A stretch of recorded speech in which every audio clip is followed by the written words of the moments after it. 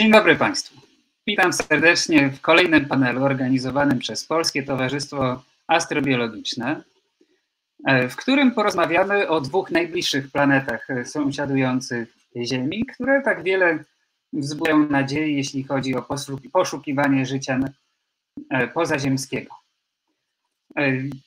Oficjalnie chciałem również pogratulować towarzystwu, ponieważ zostaliśmy zarejestrowani przez KRS. Jesteśmy już funkcjonującym, w pełni legalnym towarzystwem astrobiologicznym, pierwszym w Polsce. Także dziękujemy bardzo wszystkim, którzy byli zaangażowani w rejestracji. Dzisiaj w panelu wystąpią niesamowici specjaliści, którzy będą opowiadali się po dwóch przeciwnych stronach, chociaż wiem, że wszyscy głęboko ufają w możliwość występowania życia w całym wszechświecie, to dzisiaj jednak postaraliśmy się podzielić ich na dwie drużyny i przedstawić argumenty za życiem na Marsie i na Wenus. Tak więc Mars będzie broniła Ania Łosiak e, i Natalia Zalewska. To będzie nasza drużyna marsjańska i Wenus to będzie Janusz Pędkowski i Ewa Borowska. E, proszę Państwa, drodzy paneliści, na początku poproszę Was, żebyście się przedstawili i zacznę od Ani Łosiak. Już się odmiutuję. E, nazywam się Ania Łosiak e, i jestem geologiem planetarnym. Specjalizuję się w badaniu kraterów uderzeniowych, czyli co się dzieje, jeżeli asteroida przywali w Ziemię oraz, badaniom, oraz badaniach powierzchni innych ciał niebieskich, które są sztywne, czyli na przykład Marsa albo Księżyca. I razem z Anią w drużynie jest Natalia Zalewska. Natalia. Witam serdecznie. Ja pracuję w Centrum Badań Kosmicznych Polskiej Akademii Nauk, zajmuję się też geologią Marsa, y, pracuję też z widmami w podczerwieni, z danymi z Marsa, z, z, z obrazowaniami marsjańskimi i także zajmuje się i wodą, i wulkanizmem marsjańskim. Bardzo dziękuję. E, przeciwną drużynę, drużynę Wenus, reprezentuje Janusz Pątkowski. Januszu. Witam Państwa bardzo serdecznie. No to będzie fantastyczny panel, mam, no, jestem przekonany.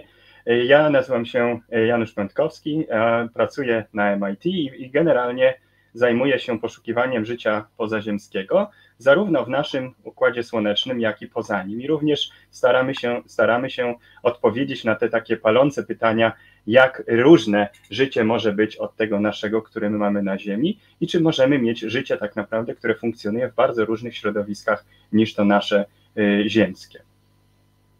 Jak widać, y, Janusz obstawia na życie na Wenus tak bardzo, że sam projektuje misję w tamtą stronę. Zobaczymy, czy jego argumenty są słuszne. E, I razem z nim w drużynie wenusjańskiej jest Ewa Borowska. Ewo.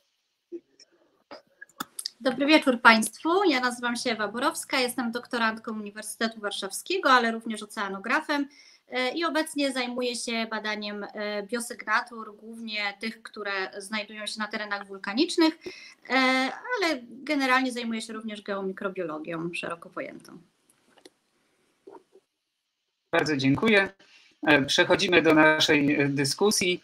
Proszę Państwa, ponieważ mamy zastanawiać się nad tym, gdzie potencjalnie może występować życie, czy na Marsie, czy na Wenus, e, musimy trochę lepiej poznać te planety i zaczniemy może e, od Wenus i zapytam w takim razie e, naszych panelistów po stronie wenusjańskiej, żeby każdy z Was powiedział coś o tej planecie. Przede wszystkim, dlaczego w zasadzie miałoby tam życia nie być? Co takiego nie sprzyja życiu na Wenus? Zacznę od Janusza, a potem poproszę Ewę. No tak, właściwie pytanie powinno być, dlaczego w ogóle y, bawimy się w takie stwierdzenia, czy, czy poszukujemy życia na Wenus. No, te dwie planety, Ziemia i Wenus, są potocznie nazywane planetami siostrzanymi, ale oczywiście jest to takie trochę y, powiedzenie na wyrost, dlatego że Wenus, no jest, jest jednak warunki, które panują na Wenus, są niezwykle różne od tych, które mamy tutaj na Ziemi. Może tylko jeżeli chodzi o y, ogólną taką wielkość czy masę, Wenus przypomina Ziemię, Natomiast y, już warunki te takie y, fizyczne czy chemiczne na tej planecie są bardzo różne. Po pierwsze, na, na powierzchnia Wenus jest niezwykle gorąca, tam jest około 460 5 stopni Celsjusza, więc na samej powierzchni tak naprawdę nie mamy w ogóle mowy, nie ma mowy o tym, żeby mówić, że istnieje jakieś e, potencjalne życie, czy też jakieś środowisko, w którym może istnieć jakaś skomplikowana chemia organiczna. Natomiast już o kilkadziesiąt kilometrów ponad tą powierzchnią, około, około tam od 48 do, do 65 kilometrów ponad powierzchnią, te warunki temperaturowe i również ciśnienie są o wiele bardziej sprzyjające życiu. Oczywiście ważną rzeczą jest to, żeby też powiedzieć, że same temperaturowe warunki, czy przedział temperatur, powiedzmy od około zera na samych górnych warstwach, warstwach smur do tych y, do 100 stopni, może w okolicach tych dolnych warstw chmur na wysokości 48 km, to nie są wystarczające kryteria do tego, żeby tak naprawdę coś, coś tam funkcjonowało.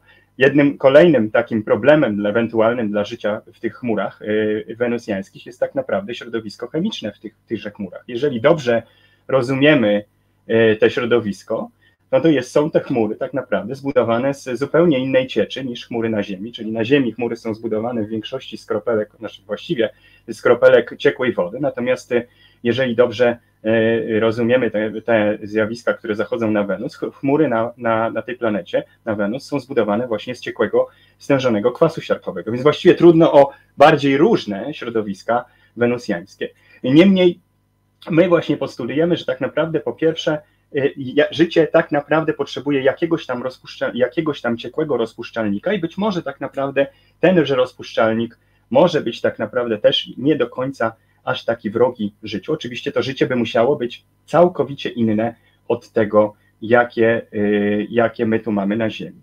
Oczywistą rzeczą jest też to, że te, te taki pomysł, że życie tak naprawdę może występować na Wenus, nie jest nowy. To już jest to tak naprawdę y, hipoteza, która tak się pojawia od czasu do czasu w literaturze naukowej już od całkiem dawna. I mam nadzieję, że my tak naprawdę będziemy mogli y, dalej przedyskutować różne większe szczegóły. Na razie to na razie tyle. Y, gwoli takiego wstępu, a potem oczywiście będziemy wchodzić w te wszystkie detale odnośnie tych wszystkich różnych wyzwań, jakie życie ma w tych chmurach. Dziękuję. Bardzo Ci dziękuję, Januszu. Za chwilę przejdę do Ewy z pytaniem, czy chciałaby coś dodać. Ja się jeszcze tylko dopytam, bo powiedziałeś, y, że na tyle, na ile możemy być pewni składu, to znaczy na ile jesteśmy pewni, że ten kwas siarkowy występuje w chmurach Wenus, tak? Czy E, były jakieś bezpośrednie pomiary, czy to są ciągle modele i domysły? Tak, y, mamy pomiary z zarówno Sondwega, jak i, jak i e, Pionier. Sondwega, Venera rosyjskich czy sowieckich sąd y, sprzed około 40 lat, jak i również z pomiary z, z Pioniera. Są to różnorakie pomiary, mm, na, po, począwszy od na przykład y, badania tak zwanego refraction index, tudzież z którego można wywnioskować ewentualny skład chemiczny tychże, tychże właśnie kropelek chmur, jak i również wykrycie samego kwasu siarkowego w formie na przykład y, y, parów czy gazowej formie. Czyli wiemy na pewno, że kwas siarkowy w tych chmurach jest i że on buduje, ten, buduje te, te chmury, również modele powstawania tych chmur, które są, te chmury są tak naprawdę tworzone przez procesy fotochemiczne w tejże atmosferze wenusjańskiej, y, również sugerują, że rzeczywiście ten kwas siarkowy jest głównym, y, czy jednym z głównych budulców tych chmur. Natomiast nie jest do końca pewne, ile tego kwasu siarkowego jest. Możemy powiedzieć, że pewnie jest to kwas stężony kwas siarkowy w okolicach 50%, 50%, ale nie jest do końca pewne dokładnie ile i nie wiadomo do końca, z jakich innych dodatkowych składników te krople tych chmur mogą się składać, gdyż może to być również kwas fosforowy, tudzież jakieś inne, e, inne związki chemiczne, o których, o których jeszcze e, być może nie mamy pojęcia. Wiemy na pewno, że, że, że, że kwas siarkowy nie jest jedynym składnikiem tych chmur i to również wiemy z różnych z pomiarów pioniera tudzież Wener. Bardzo Ci dziękuję. E, Ewo, czy chciałabyś coś dodać w temacie jakie warunki panują Oczywiście, na jako osoba, która zajmuje się, zajmuje się dokładnie badaniem biosygnatur, tutaj nawiążę do tego, o czym e, mówił Janusz i pozwolę sobie jako oceanograf dodać, że już wcześniej naukowcy, e, jak również teraz, e, wysnuwają takie hipotezy, że około 700 milionów lat temu prawdopodobnie Wenus miała takie oceany i temperatura, która na, panowała na jej powierzchni to było około 20-50 stopni, więc teoretycznie, jeżeli mówimy o jakichkolwiek analogach ziemskich, e, to również możemy powiedzieć, że w takich warunkach na Ziemi organizmy występują. Mało tego, z ostatnich artykułów dowiadujemy się, że może te chmury Wenus, o których mówił Janusz, wcale nie są aż takie kwaśne, tylko mogą mieć pH na poziomie na przykład 1 a między innymi e, takie miejsca na Ziemi występują. Jest to Rio Tinto w Hiszpanii, rzeka Rio Tinto e, oraz depresja danachilska, gdzie pH jest poniżej 1, więc tam występują mikroorganizmy, archea i bakterie, także no, domniemamy, że również jakieś biosygnatury w chmurach również mogą istnieć. Z tego co kojarzę, pH Coca-Coli nawet jest około 1. Także życie może tam zakwitnąć. Tak, niektórych wypadkach tak, dokładnie. Półtora. Proszę Państwa, wiemy już, że Wenus to piekielna planeta. E, na górze e, za zimno, na dole za gorąco, do tego kwas siarkowy. A jakie warunki panują na Marsie? Zacznę od Ani Łosiak. No na Marsie w porównaniu do, do piekielności wenusjańskiej jest całkiem przyjemnie, szczególnie jeżeli jest się jakimś mikrobem niezbyt e, tutaj wymagającym, ale też nie, nie jakimś super ekstremofilem. E, przypominam, że generalnie mimo, że na Marsie temperatura jest e, sporo niższa niż na Ziemi, średnia, na, na Ziemi średnia to jakieś 15 stopni na plusie, na Marsie średnia to jakieś minus 60, ale od czasu do czasu zdarza się, że y, w okolicach równika, w te najcieplejsze miejsca, y, w tych najcieplejszych dniach roku y, jest nawet plus 20 stopni, więc no, całkiem, całkiem przyjemny moment jak na wakacje do życia. No, największym problemem jest oczywiście to, że Mars jest obecnie suchy jak jak wiór i to taki super suchy wiór, dlatego że e, większość wody, której kiedyś było bardzo dużo na powierzchni e, Marsa, e, niestety uleciało w przestrzeń kosmiczną razem z ichniejszym, ichniejszą atmosferą. W związku z czym teraz na powierzchni Marsa nie możemy mieć jezior, rzek, a nawet małych basenów z ciekłą, czystą wodą.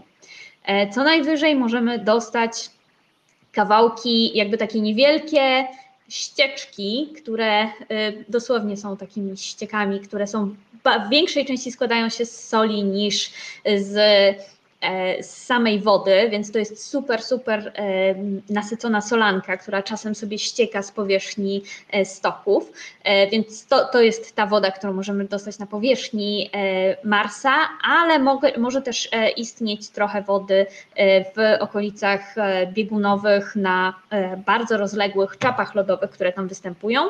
Te czapy lodowe są bardzo podobne do tego, co mamy na mm, powierzchni Ziemi na Antarktydzie czy na Grenlandii i na niektórych stokach tychże czap lodowych e, mogą w te znowu najcieplejsze momenty roku występować e, chwile, kiedy e, tak cienko, jakby pod bardzo cienką warstwą lodu jest też warstwa bardzo cienka wody. W związku z czym jest no, niefajnie, jeżeli chodzi o przeżycie ludzi, na, na, którzy mieliby być zrzuceni na powierzchnię czerwonej planety bez jakiegoś sprzętu, to my nie mamy szans, ale gdybyśmy tylko y, zrzucili już teraz jakieś y, organizmy żywe y, mieszkające sobie na Ziemi, miałyby one naprawdę bardzo dużą szansę na to, żeby przeżyć nawet w, na powierzchni w niektórych wybranych lokalizacjach. Natomiast pod powierzchnią Marsa sytuacja może być jeszcze bardziej e, optymistyczna, dlatego że wiemy, że jest tam sporo lodu pod powierzchnią e, w formie wieloletniej zmarzliny. E, I wiemy też, że w niektórych miejscach na powierzchni Marsa nie można całkowicie wykluczyć tego, że nadal funkcjonuje tam wulkanizm, więc przynajmniej miejscowo może być dosyć ciepło i przyjemnie, jeżeli jest się właśnie takim e, mikrobem. Dziękuję Ci bardzo.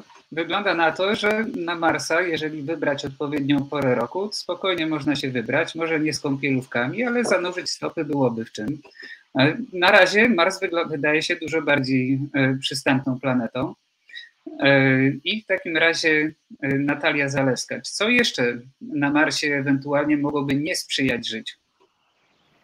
Znaczy teraz kolegując się od ostatniego czasu z mikrobiologami, dowiedziałam się, że niektórym mikrobom, ekstremofilom jest niestraszne nic. Y, po prostu niczego się nie boją. Więc promieniowanie, które jest na Marsie i człowiek by się na pewno bał tego promieniowania, bo nie, Mars nie ma pola magnetycznego, wiemy, to taki mikrob by się może zdarzył, który, bo, bo są na Ziemi takie, które są odporne na promieniowanie jonizujące. Tu jest jeszcze Ewa, która na pewno więcej powiedziała na ten temat. Są ekstremofile, które właśnie mogą żyć w wysoko zasolonych środowiskach. Więc tak naprawdę Mars jest dosyć przyjazny niektórym mikroorganizmom, bo mówimy tu oczywiście o mikroorganizmach. Yy, I znajdą się, wiele środowisk na Marsie znajdzie się takich, które by sprzyjało życiu. I mi jest nawet trudno powiedzieć, co by nie sprzyjało, bo nawet w, temperaturach minus 150 stopni też potrafią żyć mikroorganizmy. Yy, natomiast yy, no, mówi się ostatnio też o różnych takich zakamarkach Marsa, gdzieś tam jakichś jaskiniach lawowych, rurach lawowych, pęknięciach, gdzie też życie mogło albo przetrwać, albo no, być kiedyś. Yy, no mówimy tutaj, że może, może się udaje je znaleźć i może, może nawet ten metan, który się od jakiegoś czasu pojawia, to pochodzi od takiego życia. Yy, no i, no i tyle bym chciała dodać tak na razie. Świetnie, bardzo Ci dziękuję.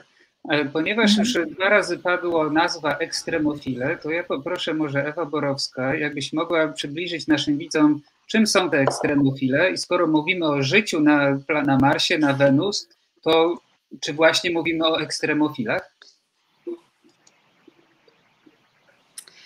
I tak i nie. Ja powiem może, jak to wygląda od strony naszej ludzkiej. Dla nas e, miejsca, w których żyją ekstremofile, to są e, miejsca ekstremalne dla nas.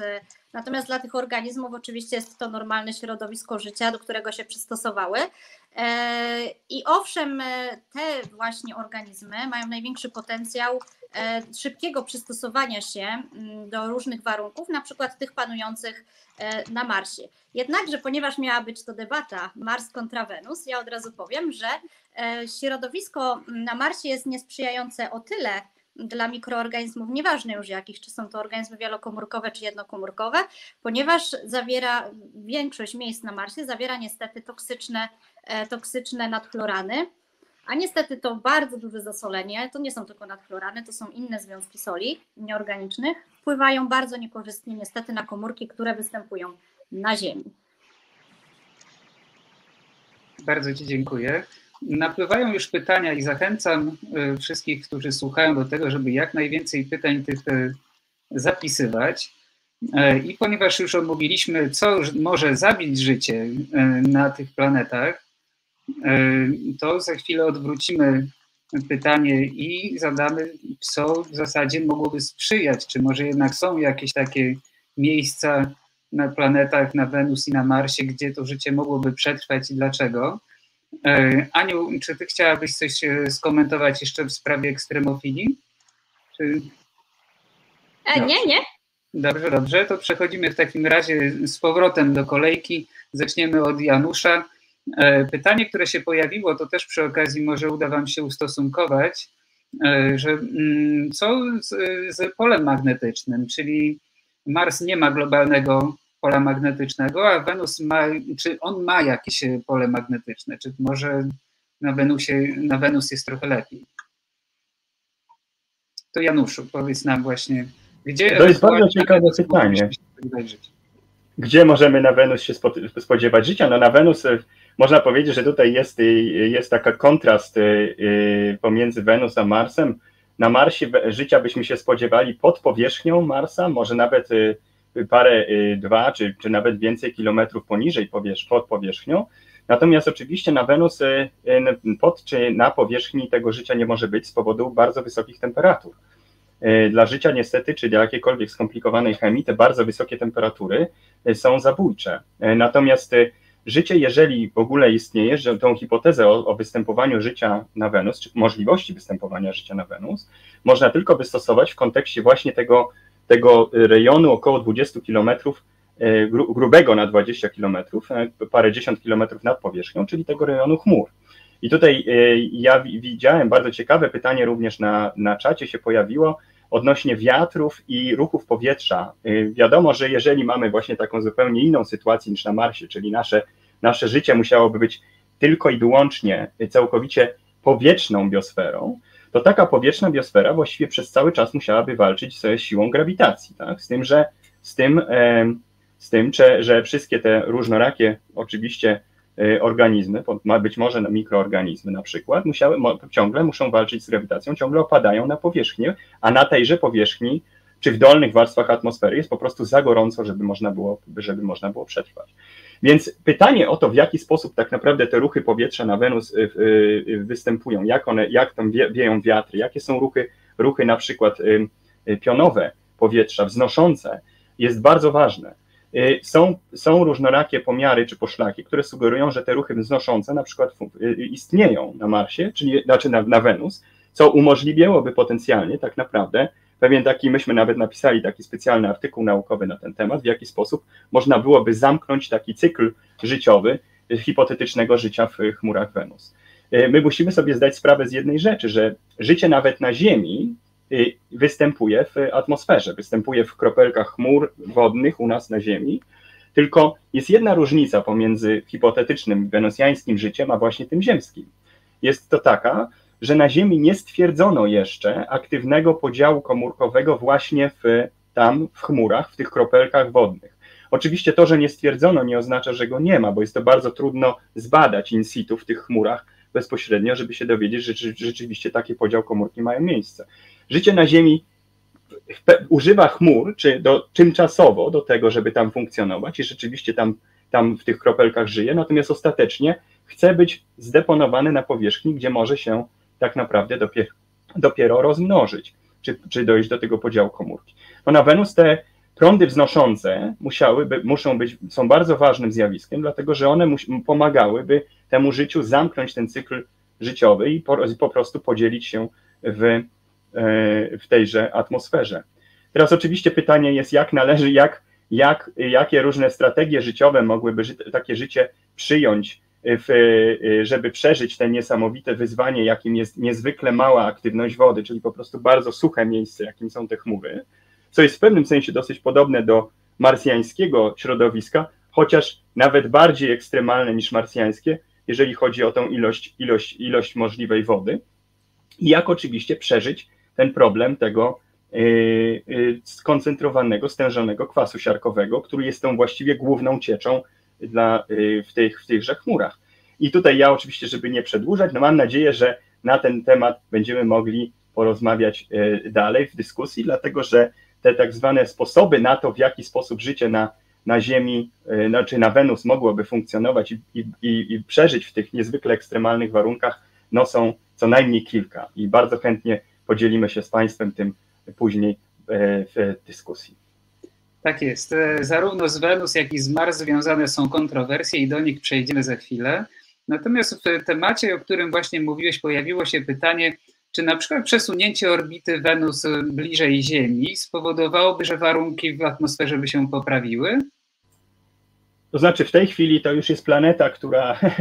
tak, to jest bardzo dobre ci pytanie. To jest, to jest bardzo, tak naprawdę, ono jest takie dosyć głębokie, też można powiedzieć. Dlatego, że y, jest w tej chwili bardzo y, poważna, ta debata się toczy od, od, od bardzo wielu lat, ale i w tej chwili ona przyspieszyła nieco.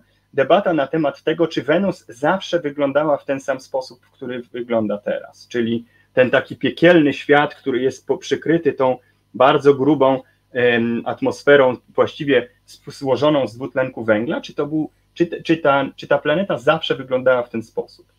I ludzie tworzą różnorakie modele klimatyczne, które mają za celu właśnie przewidzieć, czy właściwie przewidzieć to, co było w przeszłości, tak? To trochę dziwnie zabrzmi, ale, ta, ale tak można to ująć. I stwierdzić, czy na przykład dawno temu w, his, w historii Wenus, Wenus ta, ta planeta była tak naprawdę bardziej chłodna i mogły zaistnieć na niej, na niej e, oceany.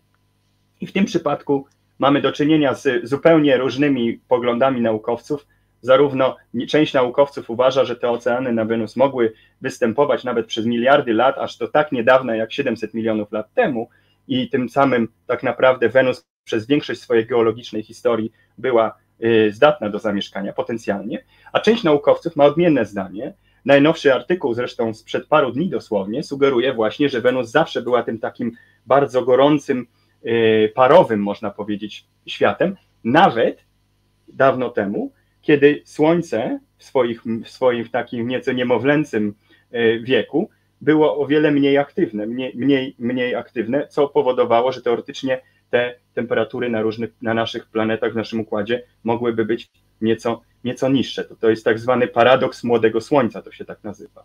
Więc trudno powiedzieć generalnie, jaka była przeszłość wenusjańska. Tu oczywiście Ewa na pewno doda nam wiele, doda, doda nieco więcej szczegółów obserwacyjnych, które mamy, czy poszlak, które mogłyby sugerować, że te oceany rzeczywiście na Wenus y, były. Natomiast na chwilę obecną oczywiście tego nie wiadomo i mamy nadzieję, że trzy misje kosmiczne, które w tej chwili zostały wybrane, misja Da Vinci, e, Veritas z, e, z NASA, jak i również europejska misja Envision, właśnie będą w stanie nam odpowiedzieć na to pytanie, czy Wenus rzeczywiście kiedyś przez większość swojej geologicznej historii miała warunki zdatne do zamieszkania i oceany na powierzchni. Bardzo Ci dziękuję. E, Ewo, gdzie takie mikroorganizmy na Wenus mogłyby żyć? Czy jakie tak. warunki ewentualnie mogłyby sprzyjać? Już się włączam. E, o, mam chyba opóźnienie. Jest, słychać mnie, tak? Tak, było małe opóźnienie. Okej. Okay. Więc ja jeszcze, ja jeszcze nawiążę do tych e, misji, między innymi nasowskich. No właśnie to, czego nam teraz niestety bardzo brakuje, e, to, to obraz tak naprawdę powierzchni Wenus i e, mimo wszystko no, Mars jest o wiele bardziej poznany, więc e, jesteśmy w stanie stwierdzić, jakie w danym miejscu występują skały, minerały. Jest to bardzo trudne niestety, jeśli chodzi o obserwację e, Wenus. My się właściwie opieramy głównie na takich bardziej dokładnych zdjęciach, to są sondy Magellana. No i to, co właśnie mm, Janusz mówił a propos też występującego prawdopodobnie może 700 milionów lat temu oceanu, no ja jako oceanograf niestety będę się kłóciła tutaj z najnowszymi modelami, modelami klimatycznymi, e, ponieważ jednak wcześniejsze e, również artykuły wskazują na e, minerały, które pokazują, że ta aktywność oceaniczna, wodna mogła występować. Między innymi na najwyższych punktach zwanych Tesare na Wenus stwierdzono występowanie granitów to jest między innymi, mm, e, to jest między innymi element, który powstaje e, niekiedy z aktywności e, oceanicznej. No jedyne co, jeszcze możemy mm, z niektórych obserwacji stwierdzić, że są tam także skały osadowe. Natomiast e, to, co udało nam się do tej pory zanalizować również z Januszem tutaj z poprzednich artykułów, mm, no to jednak to, w jaki sposób lawa, e, która wcześniej e, poruszała się jakby po, po Wenus, mm, czy, czy to tak naprawdę te, te fragmenty, które są wyżłobione, to zrobiła to lawa, czy zrobił to ocean? No tutaj są punkty sporne właśnie geologów i do tego na razie nie dojdziemy, póki właśnie bardziej dokładne e, sądy nie pokażą nam, nie, zobrazują nam tego niestety w większej rozdzielczości. Natomiast jeszcze raz pytanie było jeszcze o życie, tak? I no, tu chcę nawiązać na pewno do atmosfery. Mhm. Myślę, że tak, że odpowiedziałaś. Atmo... Proszę, proszę. Mhm. To może zamiast mówić jeszcze o atmosferze, to powiem mm, o tych biosygnaturach, bo mówimy tak naprawdę wszyscy e, o tym, że to życie może gdzieś tam być pod powierzchnią Marsa, e, czy właśnie w chmurach Wenus, ale zwróćmy uwagę na to, że jeżeli mówimy o biosygnaturach, to mówimy tak naprawdę o przeszłym życiu. Czyli jeżeli cokolwiek znajdziemy w skałach marsjańskich, e, no to będą to prawdopodobnie sygnatury, tak samo jest zresztą w przypadku Wenus. Nie musimy mówić tutaj o istnieniu życia na tych planetach, natomiast możemy mówić o istnieniu życia przyszłego. Mhm. Tak, do biosygnatur jeszcze za chwilę przejdziemy. Ja chciałem się e, dopytać jeszcze, bo powiedziałaś, że granit e, wykryto, że mm, wykryto ślady lawy, a przecież ta powierzchnia Wenus jest praktycznie niewidoczna, więc e, skąd mamy te informacje? No informacje mamy właśnie z tych sąd, o których mówiłam, między innymi jedne z lepszych zdjęć, które obrazują nam powierzchnię Wenus, to właśnie sonda Magellana. I przez chmury. Także to nie jest tak, że, ni, to nie jest tak, że nic nie wiemy. Także coś, mhm. coś jest, bo geolodzy potrafią Mamy z Wenery też trochę dokładnie, dokładnie. która tam troszeczkę pożyła na, na tym Wenus, ale to na pewno Dokładnie, Janusz więc też... to nie jest tak, że nie mamy nic. Ja Natomiast to są, są na razie tak. również tak? Również to, to znaczy... stąd Galileo i Venus Express, także, ale tutaj trzeba powiedzieć, że te, te, te skały, y, również granity, czy te właśnie skały, które mogłyby ewentualnie tworzyć się w, w, w, w kontekście wodnym, nazwijmy to w ten sposób, to też nie jest, y, to też oczywiście ludzie się spierają, czy to na pewno są tak naprawdę tego typu twory geologiczne. Mogą to, były też, były też prace sugerujące skały osadowe, ale oczywiście my nie będziemy wiedzieć na pewno, czy to są na przykład skały osadowe, czy na przykład są to różne zawijasy lawowe, nazwijmy to w ten sposób, jeżeli nie będziemy mieli, jeżeli nie będziemy mieli bardziej dokładnych y, właśnie obrazów powierzchni i różnych spektroskopowych pomiarów właśnie tejże mineralogii tej planety.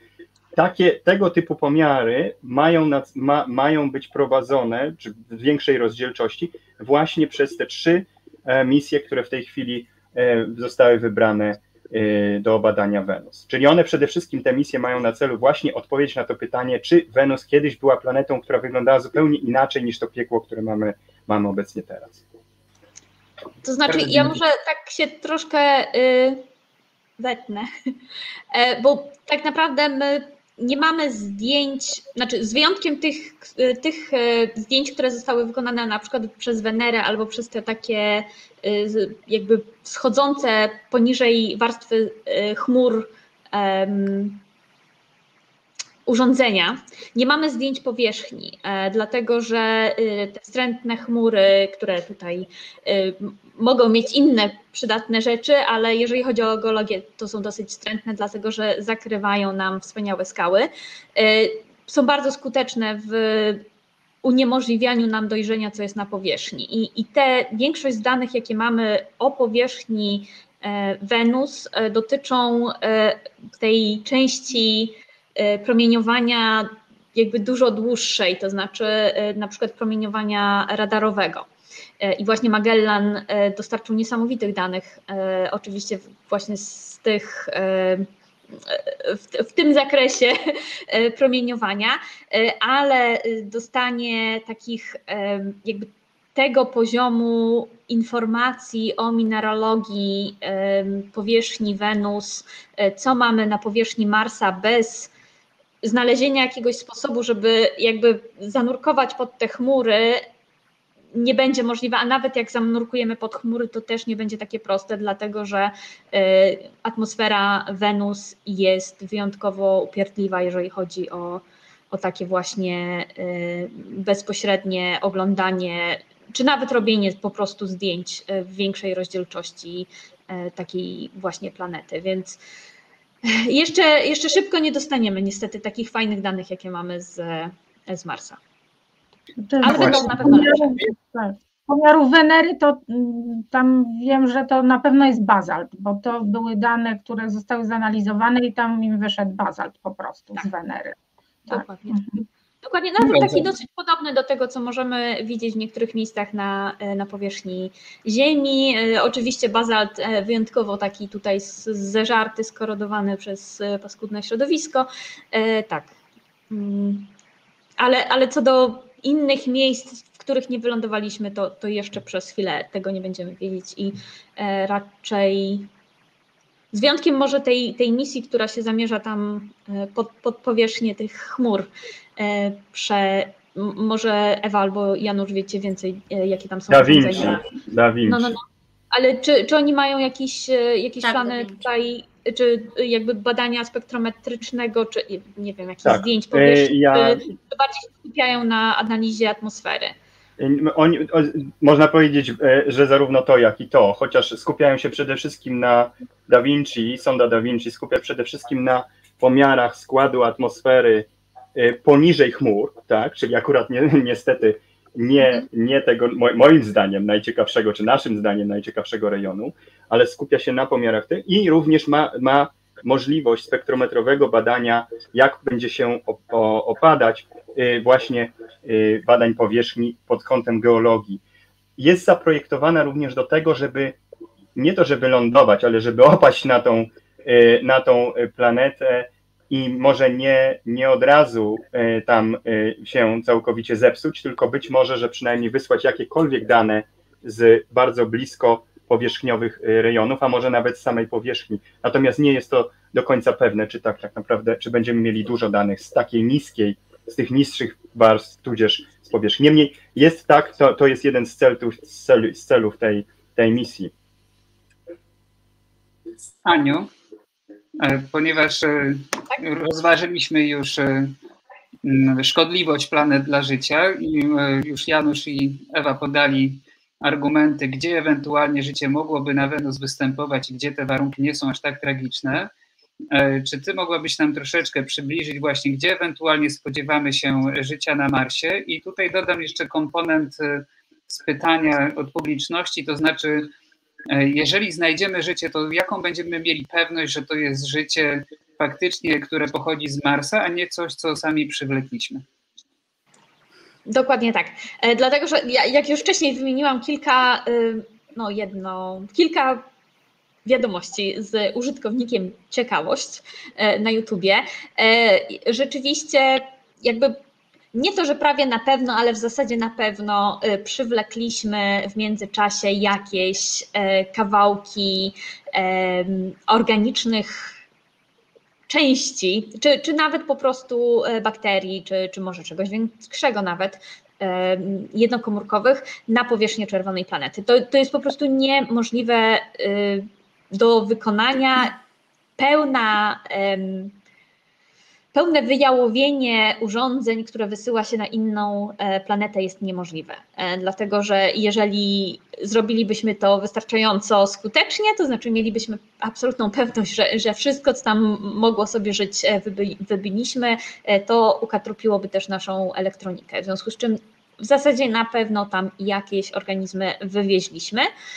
I teraz musimy trzymać mocno kciuki o to, żeby nie okazało się, że one tam sobie wyjątkowo znajdą wesołe miejsce do życia i zaczną e, po prostu e, intensywnie zasiedlać całą czerwoną planetę, zanim nie będziemy w stanie przynajmniej zbadać dokładnie tego, czy jakieś e, naturalnie występujące tam wcześniej marsjańskie mikroorganizmy sobie brykają, bo może się okazać, że, że prawda, tutaj nasze ziemskie mikroorganizmy przejmą planetę.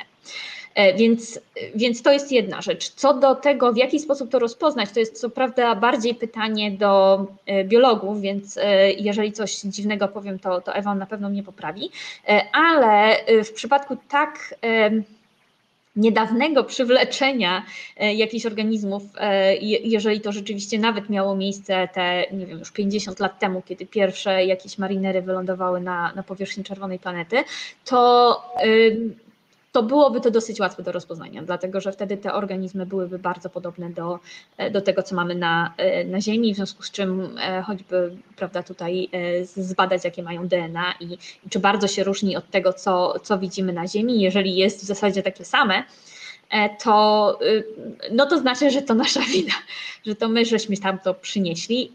Natomiast jeżeli się różni, a, a na pewno będzie się różnić, jeżeli pochodzi z Marsa, albo nawet, nie wiem, zostało zawleczone na Marsa z Ziemi y, przed milionami czy miliardami lat, to y, jakby te ścieżki em, ewolucyjne y, się mocno by rozeszły w tym czasie i to też można by sprawdzić. E, Teraz jakby część takiego właśnie datowania, roz, rozejścia się tych ścieżek ewolucyjnych można zrobić e, przy pomocy no, takiego jakby modelowania w oparciu o właśnie tempo mutacji w DNA. Mhm. Więc e, bylibyśmy w stanie to rozpoznać. To, to jest dobra wiadomość. Zła jest ta, że na pewno tam coś bryka, tylko e, no, miejmy nadzieję, że, że nie znalazło na tyle fajnego miejsca do, e, do dalszego rozwoju, żeby, żeby tutaj nam podbiło tą czerwoną planetę. Między innymi właśnie z tego powodu nie wysyła się robotów czy misji na te tereny, które na Marsie występują i które są najbardziej potencjalnie przyjazne takiemu właśnie ziemskiemu życiu, jak na przykład e, te obszary z, z tymi takimi spływami wodnymi, które występują na stokach, no, wodnymi, w sensie znowu ta taka solanka, która ma trochę wody w sobie i dlatego tak, tak splumkuje po stoku. E, albo na, e, nie, nie, nie pojawiamy się w pobliżu um, dużych połaci lodu, bo, bo to też może być właśnie e, problematyczne z punktu widzenia rozsiania tam ziemskiego życia. Bardzo Ci dziękuję.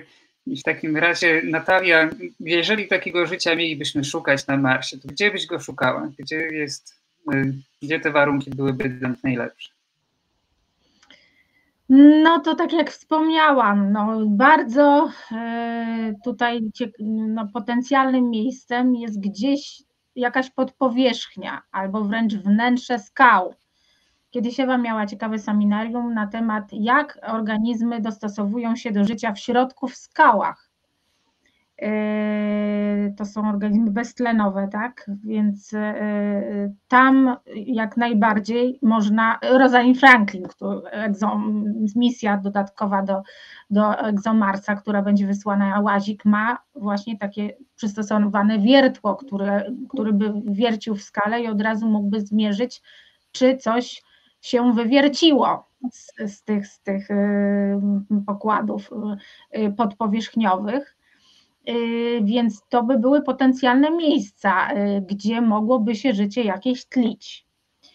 Y, poza tym no, te lava tubes, tak, czyli te, te rury lawowe, te jaskinie lawowe, gdzie powiedzmy mogłyby przetrwać jakieś organizmy, które by były nieodporne na promieniowanie jonizujące, ale miałyby tą ochronę więc tam jest potencjalne miejsce, y, gdzie można by było szukać takich. No one są trudno dostępne, bo teraz na razie jeszcze nie mamy y, takiej technologii, znaczy mo moglibyśmy mieć, gdybyśmy coś wysłali, coś by zeszło w głąb, ale na razie jeszcze nic nie, nie stwierdziło i nie ma chyba na razie takich planów, żeby coś w głębokie rury lawowe na Marsie wchodziło. Y, no i co? I jeszcze generalnie gdzie my mamy perseverance? Tak, my mamy oczywiście w dawnym jeziorze i tam, gdzie jest dawna delta. Więc jeżeli była delta i była woda, to mogło być i życie. Yy, oczywiście zdjęcia z Perseverance, yy, sorry za moje um, pronunciation, takie nie, nie, nieładne, yy, Persji, tak, to jest skrót, to może tak będę mówić. Y, Persji przysłał zdjęcia tej delty y, i tam rzeczywiście warstwowanie wskazuje na to, że jest to delta, y, bo jest ładne warstwowanie sigmoidalne, typowe dla delty, takiej, takiej klasycznej delty. Jak się porówna to warstwowanie z takim warstwowaniem na Ziemi, to praktycznie bardzo dużo cech wspólnych. No i jeśli jest właśnie ta, te, te osady takie, takie mm, deltowe, to byśmy mo mogli mieć duże szanse na to, że jednak tam warto szukać. Yy, może, może jeszcze Ania mnie uzupełni albo ktoś. No, wydaje mi się, że sporo żeśmy tych miejsc wymienili. Mhm. Yy, tak, przejdziemy za chwilę do biosygnatur, bo to na pewno temat, który interesuje mnóstwo ludzi. Ale przy okazji pojawiło się na, na czacie kolejne zaskakujące pytanie. Czy to możliwe, że Mars kiedyś był księżycem e, Jowicza lub Saturna? Czy to jest pytanie do astronomów? Ja to bym bardziej zadała takie pytanie, ale chyba nie, chyba nie sądzę. To znaczy, bardziej można by przypuszczać, że dwa księżyce, które ma Mars, Phobos i Deimos, były kiedyś w pasie asteroid, tylko Mars je przechwycił. To jeśli już mówimy o jakichś księżycach, to w ten sposób. Ale nie, Mars raczej nie był żadnym księżycem Jowisza, to, to, to nie wygląda na to. On jest zbyt nawet za duży na to, bo jest oddzielną planetą. Ja bym tylko zadała pytanie, ale to już z innej bajki, czy Merkury był księżycem Wenus kiedyś, ale to jest otwarte. Dobrze, bardzo Wam dziękuję. Rozmawiamy o życiu. E, na tych dwóch różnych planetach. Mm, pytanie, które budzi kontrowersje. Każda z tych planet ma jakieś kontrowersyjne zagadnienia związane właśnie z biosygnaturami. Tak więc zaczniemy od Wenus, przejdziemy do Marsa. Fosfina na Wenus, metan na Marsie. Jakie są aktualne stanowiska w tej chwili w tym temacie? Także Team Wenus poproszę pierwszy. Janusz. Tak, no oczywiście, to ja mogę Państwu dać taki bardzo krótki, e, krótkie podsumowanie. Oczywiście, że e, e, fosfina na Wenus, ten temat ciągle oczywiście jest żywy, bardzo żywy można by nawet powiedzieć, jest, jest oczywiście kontrowersyjny, niesamowicie, ludzie się, wszyscy się kłócą ze wszystkimi w tej chwili. Są zasadniczo takie, można powiedzieć, trzy, trzy sporne mm, aspekty tego naszego odkrycia sprzed roku, właściwie można powiedzieć, że właściwie było rok temu prawie. E, pierwsze to jest oczywiście, czy ten sygnał fosfiny, czy ten sygnał w ogóle został tam wykryty, czy nie. E, I tutaj oczywiście różne grupy badawcze próbują, ten, próbują przeanalizować te nasze dane ponownie i się z nami kłócą bardzo intensywnie na temat tego, czy ten sygnał tam jest, czy nie. Myśmy mm, odpowiedzieli na te różnorakie kontrowersje różnych e, grup badawczych co do tego tak naprawdę, czy ten sygnał jest. I w tej chwili e, ten spór tak naprawdę odnośnie fosfiny na Wenus przesunął się nieco z tego, czy sygnał, z pytania, czy tam sygnał rzeczywiście jest, czy go nie ma, na pytanie, czy ten sygnał tak naprawdę rzeczywiście jest, jest fosfiną, czy tak naprawdę jest jakimś innym gazem, tudzież jak wysoko w atmosferze jest również ten sygnał. I Dlaczego te dwa pytania są takie ważne? No po pierwsze, jeżeli, jeżeli rzeczywiście ten sygnał tam jest, to pytanie jest, czy tak naprawdę on jest fosfiną, czy może to jest jakiś inny gaz atmosferyczny. I tutaj niektóre grupy badawcze sugerowały, że to może być na przykład dwutlenek siarki. My, dosłownie, my, my całkiem niedawno y, napisaliśmy artykuł, który również pokazuje dodatkowe obserwacje astronomiczne, które pokazują, że ten sygnał nie może być tym dwutlenkiem siarki. Więc albo rzeczywiście mamy do czynienia z sygnałem fosfiny, tak, albo jest to zupełnie nieznany związek e, chemiczny, który tak naprawdę przez przypadek nakłada się nieco z tym, e, z, z tym sygnałem absorpcyjnym fosfiny. I teraz oczywiście najbardziej takim trochę teraz najbardziej, najbardziej gorącym tematem dyskusji naokoło tego sygnału naszego fosfinowego jest tym, jest to, skąd ten sygnał tak naprawdę pochodzi, a mianowicie, e, a mianowicie myśmy sugerowaliśmy, że ten sygnał rzeczywiście pochodzi z chmur, czyli z tego rejonu, który potencjalnie byłby, byłby zdatny do zamieszkania. Natomiast są niektóre grupy badawcze, które sugerują, że tak naprawdę ten sygnał pochodzi z rejonów ponad chmurami. I jeżeli rzeczywiście tak jest, jeżeli rzeczywiście ten sygnał pochodzi z tych rejonów ponad chmurami, no to to jest coś niezwykle tak naprawdę dosyć też dziwnego, dlatego że nasze obecne modele fotochemiczne nie sugerowałyby tego, że fosfina może mieć taki y, długi, wystarczająco długi y, czas y, życia, jest bardzo szybko, ona, jest, to jest reaktywny związek chemiczny, więc on jest niszczony całkiem szybko w, atmos- y, słonecznym. Tak więc on teoretycznie nie powinien być wysoko tak ponad chmurami. Jeżeli rzeczywiście tam jest, to to by sugerowało, że tak naprawdę że fosfina może być y, produkowana albo jest cały ten ruch atmosfery jest bardziej taki żywiołowy niż nam się wydawało i ta, ta, ten transport powyżej chmur jest tak naprawdę bardziej taki nieco ożywiony, albo mamy do czynienia z tym, że rzeczywiście jest jakiś nieznany zupełnie, całkowicie niespodziewany fotochemiczny y, proces, który tą fosfinę może produkować w tych wyższych warstwach atmosfery. Z kolei te obserwacje, czy te różne spekulacje, które teraz ludzie w różnej literaturze naukowej postulują, muszą być w jakiś sposób skonfrontowane z bardzo nowym artykułem, czy na nowym jak nowym, ale, ale który wyszedł jakiś czas temu, który się skupia na reanalizie danych sprzed 40 lat sondy Pionier, yy, Pionier amerykańskiej, która została wysłana na, na Wenus. I tam w tych da, z tych danych, które leżały na półce przez 40 lat, których nikt nie przeanalizował tak naprawdę, a przeanalizowano jeszcze raz, w tych danych ze spektrometru masowego właśnie znaleziono również ślady e, e, jonów, które, fosforu, które można było właśnie przypisać e, potencjalnie właśnie fosfinie. Czyli jeżeli mamy do czynienia z jakąś produkcją tej fosfiny wysoko w atmosferze, na przykład w, powyżej chmur, to musimy z kolei to skonfrontować z tymi danymi, które obecnie opublikowanymi z sondy Pionier, które z kolei postulują, że to jednak ten sygnał tej fosfiny występuje w chmurach, gdyż te dane właśnie z Pioniera były zbierane z, tego, z tych chmur. Więc tak naprawdę jest to sytuacja, która jest bardzo, y, no, się rozwija bardzo, jest żywiołowa, no oczywiście potrzebujemy więcej obserwacji i tak naprawdę astronomicznych i żeby, i żeby tą sprawę rozwikłać do końca, to będziemy musieli mieć nowe obserwacje astronomiczne i to jest trochę analogiczna sytuacja do marsjańskiego metanu, który odkryty był 15 lat temu, a który tak naprawdę ciągle jest żywą, e, powoduje bardzo żywe dyskusje w środowisku naukowym.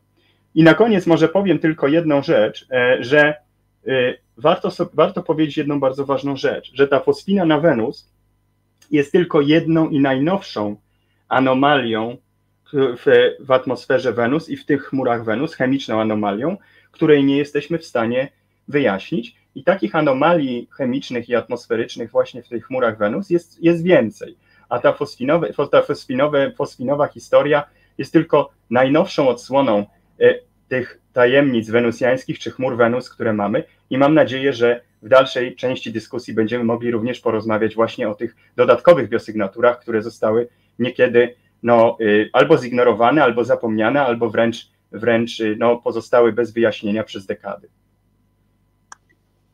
Dziękuję Ci. Myślę, że to jest dobry moment, żeby za chwilę wrócić właśnie do tych pozostałych biosygnatur. Chciałem jeszcze tylko zapytać Ewę, czy chciałaby coś dodać w temacie e, ja myślę, że na pewno wrócimy do biosygnatur. To, o czym e, Janusz mówił. E, mhm. Tak, ja na pewno bym chciała powiedzieć o takich moich dwóch ulubionych biosygnaturach. To może teraz? E, tak, więc na pewno, znaczy nie wiem, czy to miał na myśli Janusz, ale mm, moimi tak. takimi ulubionymi biosygnaturami które dotyczą zarówno e, Wenus, jak i Marsa, to są tiofeny, natomiast no nie stwierdzono ich na pewno na Wenus ani w chmurach Wenus. Więc mam nadzieję, że przyszłe misje, które będą konstruowane pod to, e, będą mogły wykazać nam, że e, gdzieś ta siarka organiczna się tam znajduje. E, natomiast takim ciekawym związkiem jest również karbonyl sulfidu, który na Ziemi jest faktycznie też z pokładów wulkanicznych, to znaczy z wyziewów wulkanicznych. Natomiast ciekawą opcją jest to, że pojawia się on w znacznych ilościach ponieważ e, pod wpływem e, promieniowania ultrafioletowego na powierzchni, e, na powierzchni oceanów Mm, po prostu uwalnia się z organizmów, które się rozkładają na powierzchni oceanu. E, więc to, to wiemy na pewno, że taka, taką sygnaturą tych organizmów na Ziemi e, są, jest karbonyl sulfidu, jeśli chodzi o oceany. Natomiast nie wiemy dokładnie, e, jak to wygląda w przypadku Wenus. Popraw mnie, Janusz, jeśli, jeśli chciałeś mówić o innych, natomiast to są jakby te moje dwie ulubione biosygnatury, o których chciałabym też powiedzieć w kontekście Marsa, jeśli będę mogła.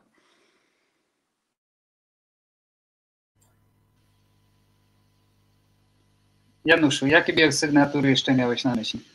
A, jest, no, jest ich cała bateria, można by powiedzieć, bo to jest właściwie też trochę co, czymś, coś, czym my się teraz bardzo aktywnie zajmujemy w naszej grupie e, wenuzjańskiej, a mianowicie y, my staramy się spojrzeć na bardzo stare dane, na stare Wenery, dane, dane zebrane przez sądy Venera i również przez sąd, amerykański sądy Pionier i, spra- i zobaczyć tak naprawdę, cóż takiego te sądy, te oryginalne dane, y, te, te instrumenty tak naprawdę tam y, zebrały i przeanalizować to jeszcze raz, reinterpretować to przez takie właśnie nieco bardziej nowoczesne szkiełko.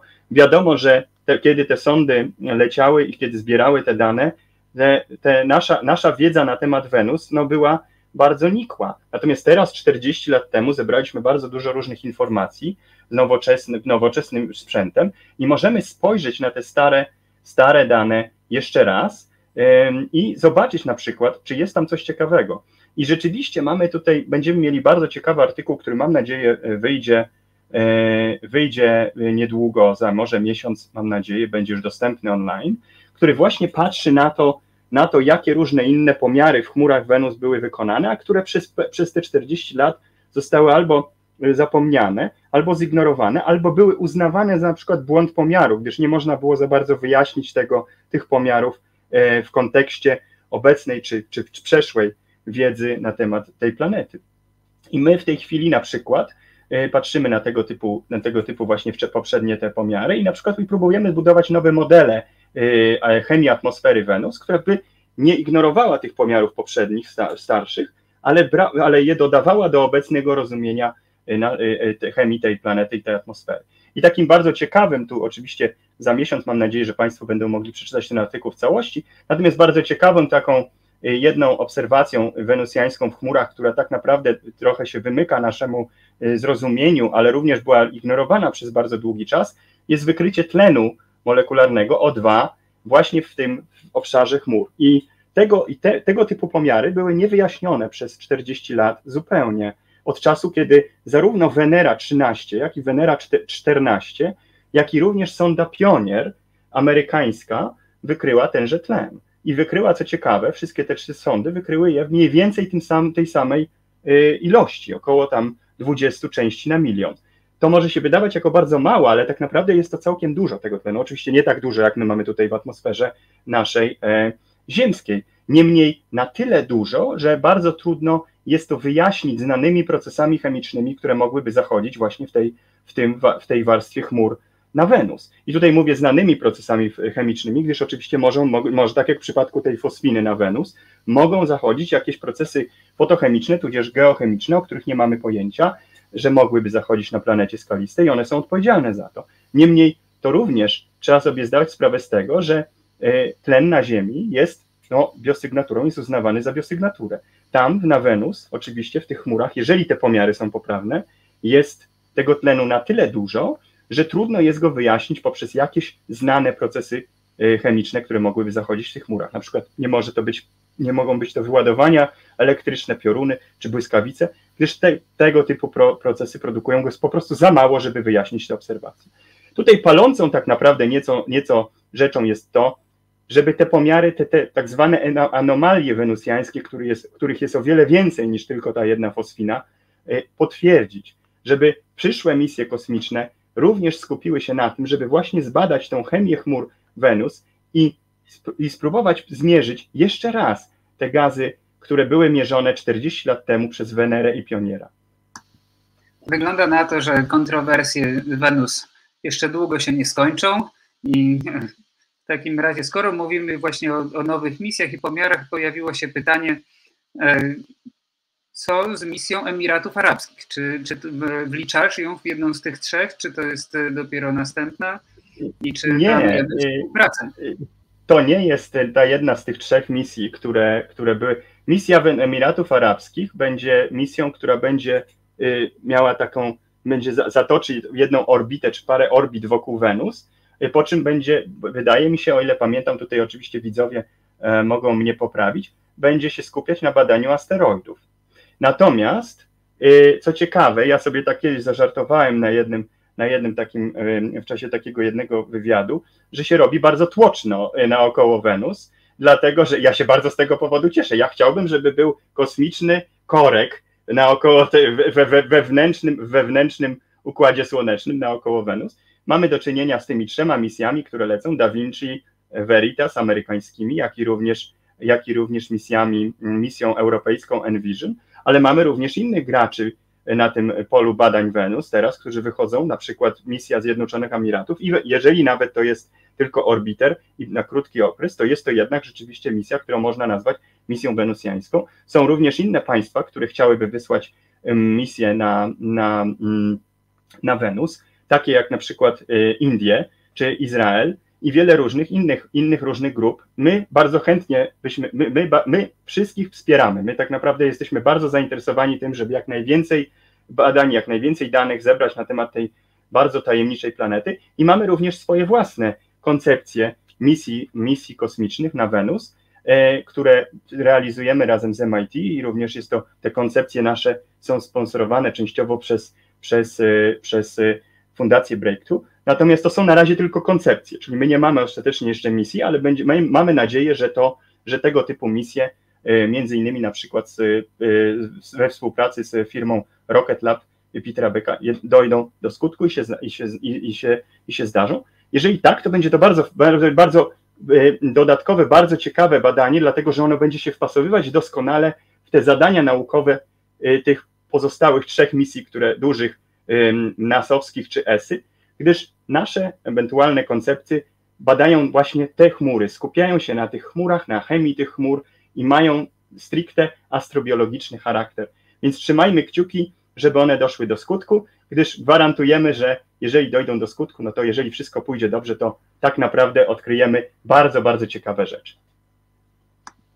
Bardzo Ci dziękuję. Za chwilkę przejdziemy do kontrowersji marsjańskich, ale na początek jeszcze zadam pytanie, które pojawiło się na czacie dotyczące e, poprzedniej wypowiedzi Aniu Twojej, czyli że e, w takim razie są te najlepsze miejsca do życia, do tego naj, miejsca, w których mają największy potencjał, w których mogłoby występować obecnie życie na Marsie, my ich unikamy i przez to ich nie badamy. Czy może są jakieś rozwiązania do badania, na przykład można by tam podlecieć dronem? To znaczy, czy jak na razie rzeczywiście tak jest? E, po prostu unikamy tych kawałków Marsa, które są najbardziej obiecujące astrobiologicznie, e, po to, żeby tego potencjalnego marsjańskiego życia nie zadeptać, zanim go nie odkryjemy. E, jakby nadzieja jest taka, że może uda się znaleźć coś w tych kawałkach, które obecnie myślimy, że są za suche, żeby, żeby coś tam mogło obecnie żyć, albo przynajmniej jakby sprawiało problemy tym pasażerom, mikrobiologicznym pasażerom na gapę, e, których, które się zabrały z, z naszymi z naszym sprzętem na, na czerwoną planetę, więc na przykład właśnie tam, gdzie jakby jest Zero Crater, gdzie y, Perseverance sobie teraz bryka, gdzie Teraz jest niefajnie, ale kiedyś było na pewno super e, być takim mikrobem i się tam pluskać, e, więc e, może tam zostały jakieś ślady, ale jak na razie nie wybieramy się do tych kawałków naprawdę obiecujących właśnie po to, żeby uniknąć przypadkowego zanieczyszczenia tego obszaru. Obrona planetarna. Tym razem obrona Marsa przed Ziemią, a nie, czy raczej Ziemianami, e, a nie w sensie obrony Ziemi przed asteroidami. To tak jak śpiewał Kazik, Mars napada. E, tak, no ale tutaj Ziemia napada na biednego Marsa. Potencjalnie. Przejdziemy teraz do Natalii. Poproszę Cię, Natalię, żebyś powiedziała nam właśnie coś o biosygnaturach na Marsie, a potem damy Ani również e, możliwość skomentowania. Mm, tak, to jest temat, wiadomo, taki bardzo głośny. Metan na Marsie, tak? To jest taka bardzo y, sławna sygnatura, biosygnatura, właśnie, która się y, pojawiała na Marsie y, raz na jakiś czas. Pierwsze, pierwsze pojawienia, które były odnotowane, to przez Mars Global Surveyor jeszcze sondę były zmapowane. Przez cztery lata były badane takie pojawiania się w atmosferze, nawet właśnie Y, marca y, y, zwiększonej ilości metanu, ale to są ilości, to jest ułamkowa część na miliard, to są tego typu pojawiania się. Mars Express też teoretycznie zbadał sonda Mars Express, gdzie Centrum Badań Kosmicznych między innymi brało udział w budowie spektrometru. Też były notowane pojawienia się metanu, Natomiast były tutaj właśnie dyskusje, czy to jest rzeczywiście metan, czy to nie są artefakty od Słońca, bo to też podobno w widmie tak się zachowuje. Natomiast chodzi o łazik Curiosity. I on wykrył metan właśnie w tej bardzo mikro, malutkiej ilości, czy ułamkowej części na miliard, nawet nie na milion, tylko właśnie na miliard, tak? To, to, to tyle tego metanu jest i on się pojawiał e, tak sporadycznie. No, Ania pewnie uzupełni, bo on się pojawiał generalnie w nocy, a w dzień się nie chciał pojawić.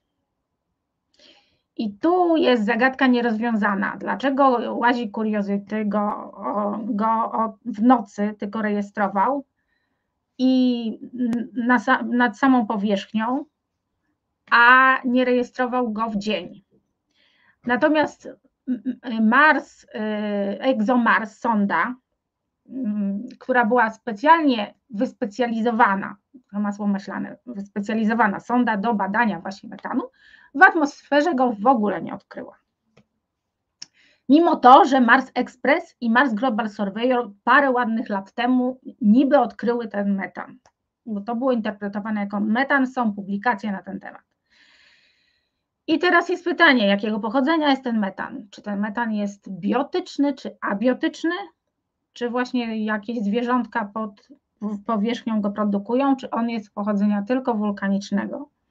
Próbowano też powiązać występowanie metanu z y, badaniami sondy InSight, która jest lądownikiem i y, bada y, wstrząsy Mars, znaczy trzęsienia Marsa, o tak powiem po polsku. Trzęsienia Marsa, które są rejestrowane i próbowano powiązać właśnie znalezienie metanu przez łazi Curiosity i, i wstrząsy, i ze wstrząsami, że może to ma pochodzenie jakieś tektoniczne, ze szczelin się wydobywa. E, ja nie wiem do końca, czy to zostało skorelowane, ale wiem, że takie próby były robione.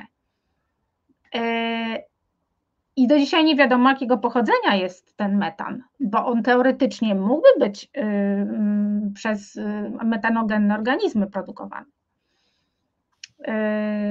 to może ktoś mnie uzupełni teraz. Tak, bardzo dziękuję. Ania, czy chciałabyś coś dodać? Czy poza metanem oprócz tego są jeszcze jakieś inne biosygnatury, ale spokojnie komentuj również metan. E, to znaczy, jeszcze do tego metanu e, chciałam e, dodać, że rzeczywiście ten taki duży, mm, duży wyrzut metanu, który został być może zarejestrowany przez Mars Express e, i który wywołał całą e, wielką, wielkie zamieszanie, nigdy się nie powtórzył. E, przynajmniej nie powtórzył się właśnie w, w tych najnowszych pomiarach misji, która specjalnie została wysłana jakby ze specjalnie dedykowanym urządzeniem do, do mierzenia nawet niewielkich ilości tego metanu. Więc tak jak Natalia powiedziała, no to jest pewien problem. Z drugiej strony też nikt nie powiedział, że y, takie rzeczy muszą się zdarzać y, jakby cały czas. Jakby niektóre wydarzenia na powierzchni i Ziemi i, i Marsa mogą się zdarzać, nie wiem, raz na kilkanaście, kilkadziesiąt, kilkaset lat. Więc y, nie wiadomo do końca, czy ten metan w tej takiej dużej ilości widocznej z atmosfery, z orbity rzeczywiście został wykryty, czy nie. Ale jeżeli rzeczywiście coś takiego ma miejsce, to jest co najmniej bardzo ciekawy proces, y, najprawdopodobniej jednak geologiczny, ale może nie, ale raczej geologiczny. E, dodatkowo jeszcze ten metan, który rzeczywiście został wykryty przez Curiosity jakby z powierzchni e, w tej takiej bardzo małej skali, to znowu jest bardzo mała ilość tego metanu e, i, i ta ilość skacze i występują naprawdę istotne jakby nie, nie szalenie duże, ale mierzalne różnice związane z e, porami roku, to znaczy dużo więcej tego metanu jest wydzielane jak jest cieplej e, w tej okolicy niż jak jest zimniej. E, więc jest to coś, czego nie rozumiemy do końca. Nie, nie da się jak na razie wykluczyć tego, że to jest pochodzenia biologicznego, ale też nie ma żadnych dowodów na to, że to jest pochodzenia biologicznego. W związku z czym e, stosując, e, jak to się mówi, nóż Okhama, brzytwę Okhama, brzytwę. E, raczej jednak ja bym się skłaniała ku tym abiologicznym, geologicznym wyjaśnieniom tego, tego procesu. Metan jest rzeczywiście związany z życiem w wielu przypadkach, ale może być też związany z bardzo takimi e, normalnymi e, wydarzeniami e, geologicznymi. Chociażby wietrzenie oniewinów, których jest dużo na powierzchni Marsa. Jednakże, jeśli mogę dodać, jednakże wtrącę się jako geomikrobiolog, i powiem tutaj, że o ile metan może być abiotyczny, tak niestety tiofen już nie. A jak bardzo dobrze wiadomo, e, oprócz metanu wykryto również w tym samym momencie tiofeny. Wykryto to za pomocą takiego Sample e, Analysis on Mars, e, to jest takie urządzenie SAM. Natomiast to urządzenie nie było wyposażone dokładnie pod badanie sygnatury siarki. Więc y, następny łazik, który będzie leciał niebawem, czyli Rosalind Franklin, już będzie wyposażony w bardziej, e, bardziej dokładne narzędzie i to właśnie na siarce organicznej się skupi, bo o ile właśnie, tak jak Ania powiedziała, e, metan może być abiotyczny, tak już tiofeny, e, które są pochodnymi związków organicznych, właściwie nawet pochodnymi ropy naftowej, no to no nie mogą być pochodzenia niestety abiotycznego. Więc tutaj, mm, przynajmniej dla mnie, dla osoby, dla mikrobiologa jest istotne to, E, żeby pobrane próbki przez Rosalind Franklin, o ile się to uda wywiercić, tak, chociażby nawet w mały fragment i zbadać to in situ za pomocą takiego narzędzia e, pirolizy GCMS, no będziemy mogli w stanie być ocenić, tak, czy, e, czy ta siarka organiczna występuje. Mało tego powiem Państwu, że wszyscy mówią na Ziemi, mm, że tak naprawdę węgiel jest, y, jakby pokazuje nam to, że to, to życie, czy ta sygnatura życia w danych skałach występuje.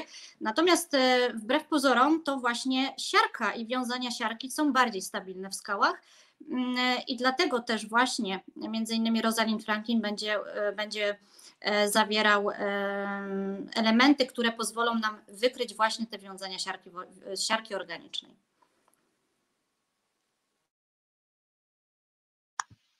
Bardzo Ci dziękuję. Na Marsie jest dużo siarczanów, tak a propos. Na Marsie jest dużo siarczanów, ale to nie znaczy, że to ma związek jeszcze, tak? Z... Tak, to mówimy o, oczywiście o y, nieorganice, natomiast y, no, na Ziemi jest bardzo dużo takich analogów, szczególnie w oceanach. Mamy takie mm, miejsca, gdzie jest bardzo głęboko, nie dochodzi w ogóle słońce, nie ma również tlenu. E, I w takich miejscach, przy mm, takich mniejszych kominach hydrotermalnych, tworzą się pokłady, gdzie właśnie są przetwarzane wcześniej minerały przy pomocy takich mikroorganizmów i tworzą się e, na przykład siarczki z siarczanów. Więc to jest bardzo ważne, bo często się o tym zapomina, ale siarczki w tym wypadku są bardzo ważne, ponieważ właśnie mogą powstać z aktywności beztlenowej mikroorganizmów.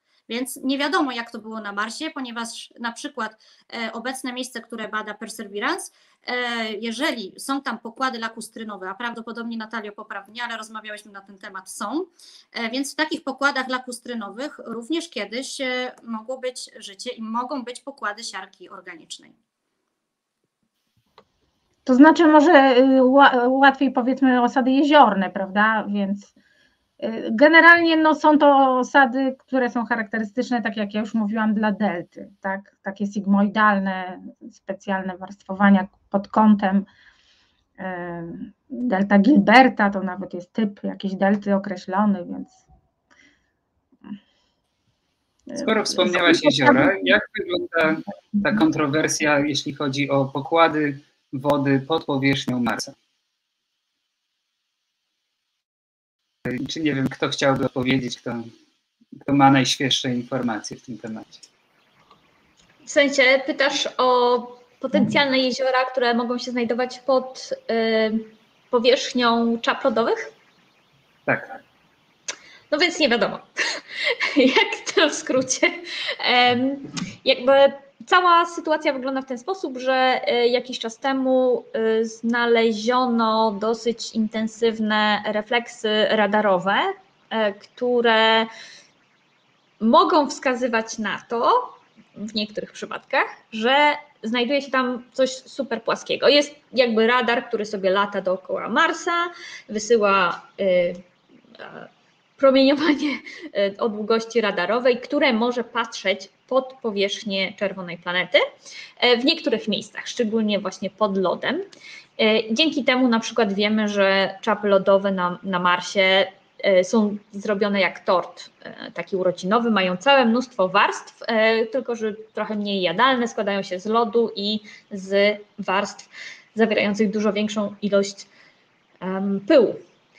Więc wśród tych warstw znaleziono też coś, co było super płaskie i super dobrze odbijające. I zostało to zinterpretowane jako prawdopodobne jezioro. Takie jeziora podlodowe znajdują się też e, na powierzchni Ziemi, e, więc jakby jest to całkiem możliwe. E, przeciwko tej teorii opowiada się bardzo niski, niska ilość ciepła, która wydobywa się spod powierzchni e, czerwonej planety, w związku z czym raczej spodziewamy się tego, że e, ta, hmm, że to są zimne e, lodowce, co oznacza, że przy kontakcie pomiędzy Ziemią a, a lodem, jakby ten lód jest przymarznięty do, y, do Ziemi marsjańskiej, y, a nie, że jest tam taka warstwa y, wody, która w niektórych przypadkach na Ziemi jakby mamy oba typy tych, tych um, um, czap lodowych e, i, i te ciepłe i te zimne, więc najprawdopodobniej raczej jest tam po prostu za zimno, żeby coś takiego mogło istnieć, tym bardziej, że niedawno została opublikowana nowa mm, praca na ten temat, która wskazywała, że e, ten, e, te refleksy, które rzeczywiście są bardzo silne i takie bardzo podejrzanie wyglądające, są tak naprawdę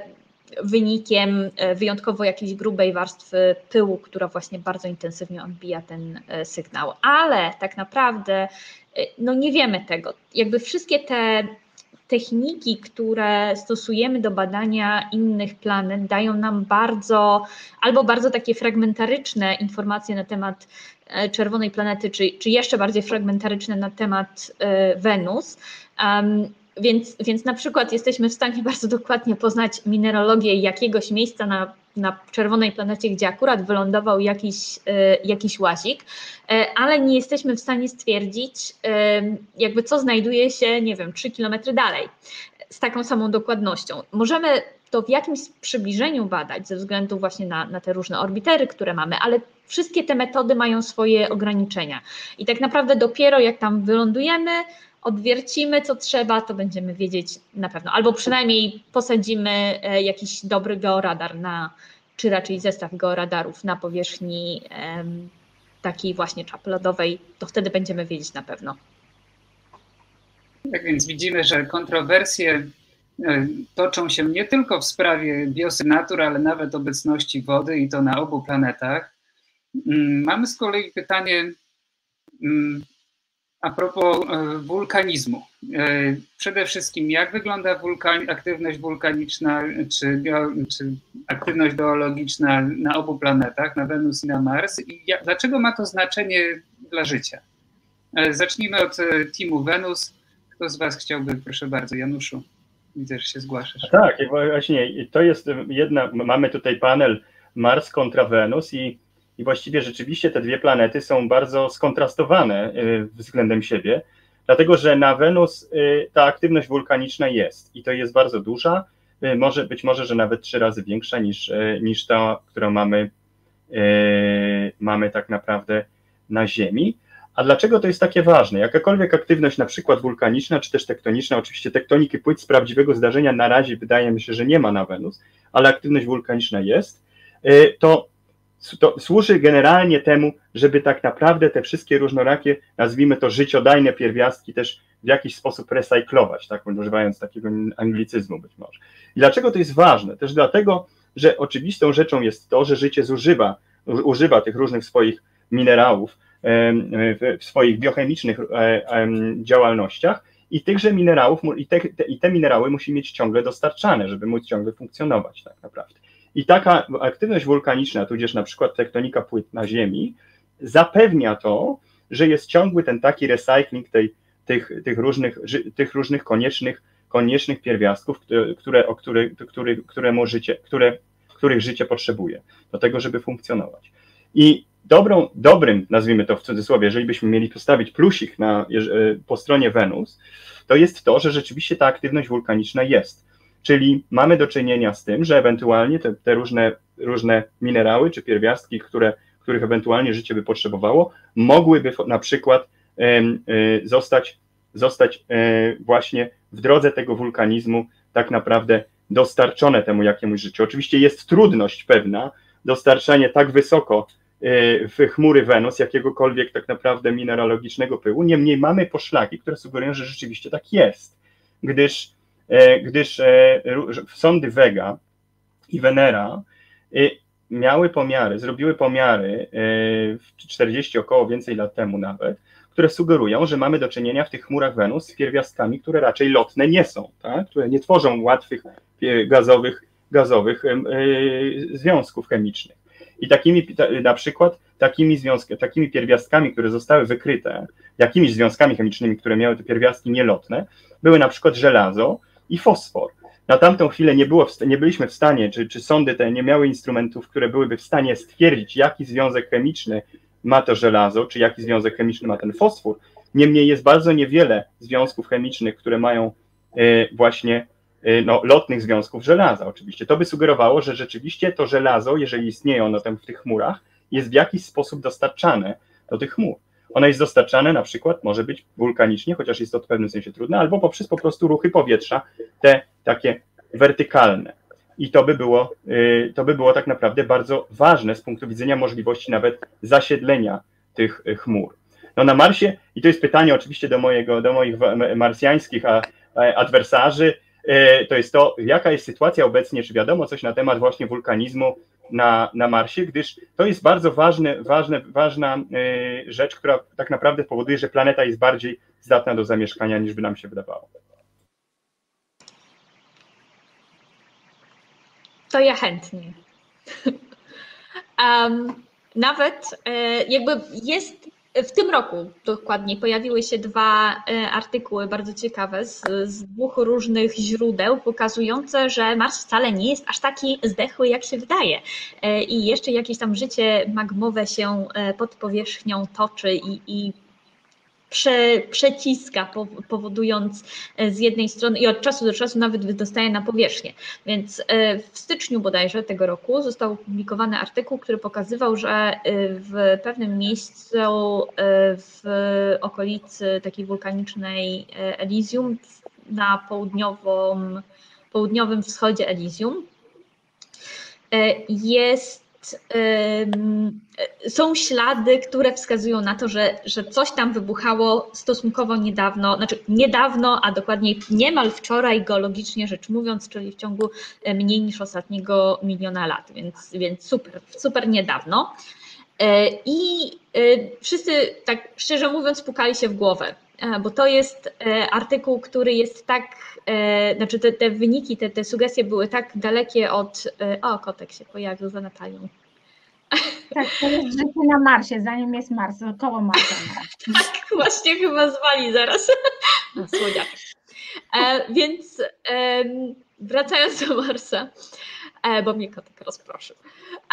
wracając do Marsa, e, jakby to, to, ta praca była tak absurdalna, że zamiast być opublikowana w czymś, e, powiedzmy, science, e, nature, geology, Nature Geoscience albo czymś podobnym, to została opublikowana w Ikarucie, który jest bardzo dobrym takim e, czasopismem branżowym, jednym z lepszych, ale jednak to nie jest, wiecie, Nature Geoscience. Mimo bardzo ciekawych wyników. E, głównie wydaje mi się, że dlatego, że, że ludzie po prostu stwierdzili, że no przecież to jest tak absurdalne, żeby były wulkany na Marsie, więc come on, come on.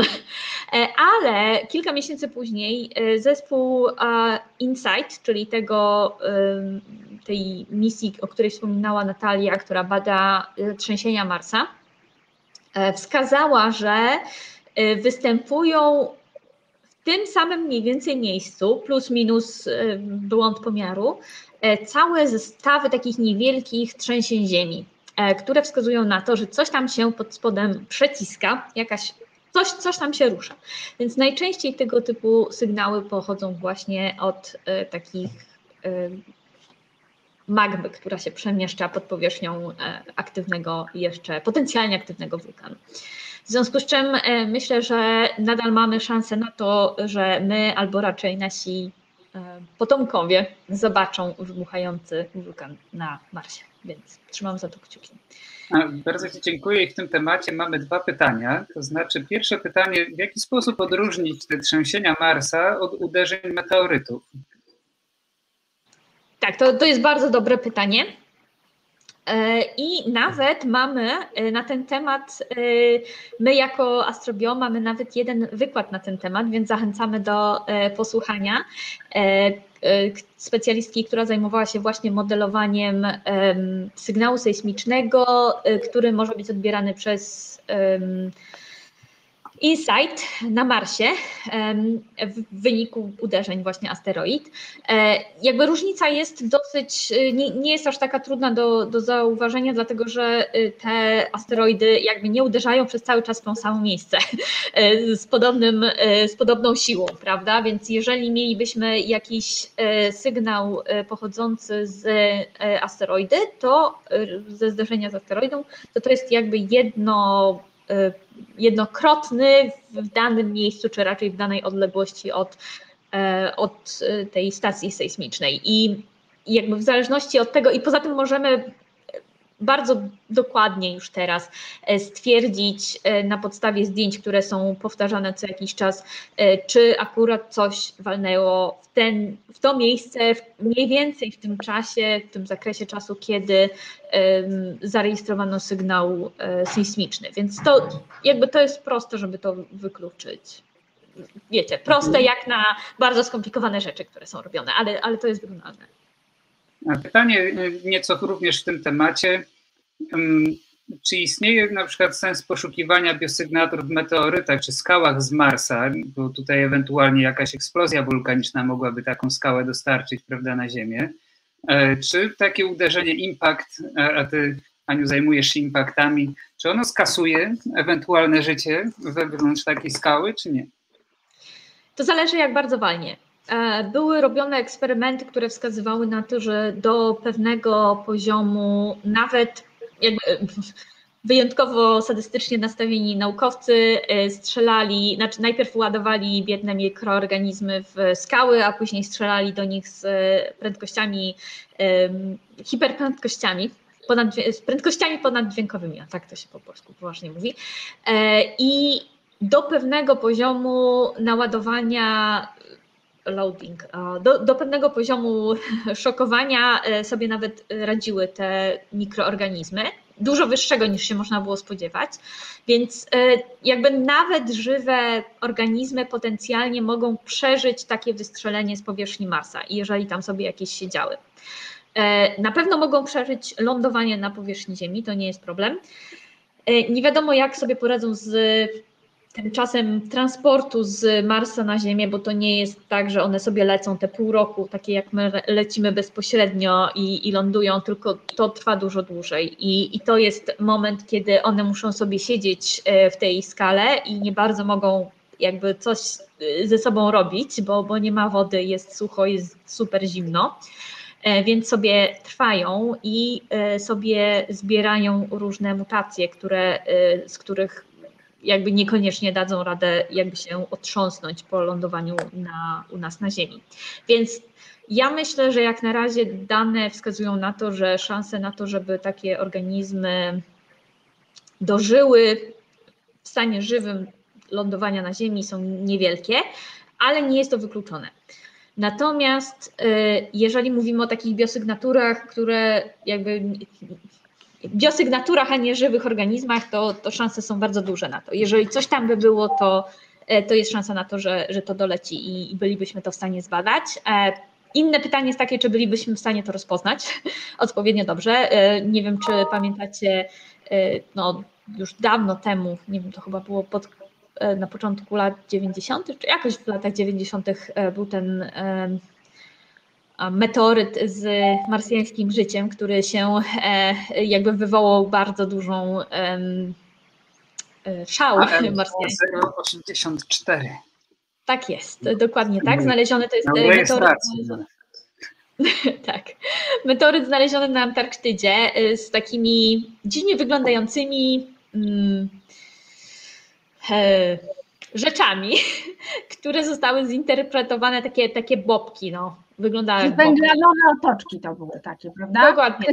Tak, minerały, węgle, podobno to węglane były, takie mikro, tak, tak, i, takie, i takie długie, podłużne yy, w środku. Zupełnie jak bakteria. Tak, jak, jak wstrętne bakterie zjadające piękne skały, to to tak mniej więcej wyglądają, tylko były mniejsze niż te bakterie. E, I wywołało to, e, i, i tam były jeszcze kilka innych takich wskazówek na to, że to jest coś dziwnego, były dziwne e, sygnatury izotopowe, były dziwne zestawienia geochemiczne, które towarzyszyły tym bobkom, więc no, było kilka takich wskazówek, które wskazywały, że to jest coś dziwnego, ale i, i dlatego to wywołało tak, takie szaleństwo, ale y, jak na razie nadal brakuje nam bezpośrednich dowodów, że to rzeczywiście były bakterie. Jak na razie konsensus jest taki, że no to coś dziwnego, ale raczej nie życie. E, dlatego, że jakby geologia może produkować rzeczy, które wyglądają podobnie do tego, co produkuje życie, niestety. I, I to jest jakby rozpoznanie pomiędzy tymi dwoma rzeczami jest e, dosyć e, trudne, podstępne i, i na tym polega e, cały problem. A jeszcze wracając do tych meteorytów, jakby największy problem w rozpoznawaniu tych biosygnatur polega na tym, że nie dostajemy próbek naj, tych najciekawszych z punktu widzenia biosygnatur próbek z Marsa, tylko dostajemy te próbki, które są w stanie przeżyć wystrzelenie i dostarczenie na Ziemię, czyli y, skały takie no, najbardziej sztywne, odporne, y, kawałki bazaltów głównie, czyli takich skał krystalicznych. Nie dostajemy niestety tych naj, najfajniejszych dla nas, czyli e, kawałków skał osadowych, które byśmy chcieli zbadać, bo, bo tam najprawdopodobniej, jeżeli jakieś biosygnatury występują, to naj, najprawdopodobniej właśnie tam. I właśnie dostarczeniem takich skał zajmuje się Perseverance. E, bardzo Ci dziękuję.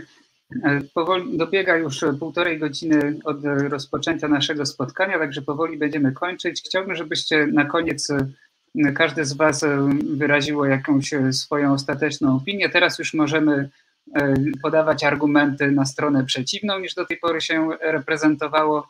Jeszcze zanim oddam Wam głos, chciałem nawiązać do ostatnich kilku pytań, które pojawiły się na czacie.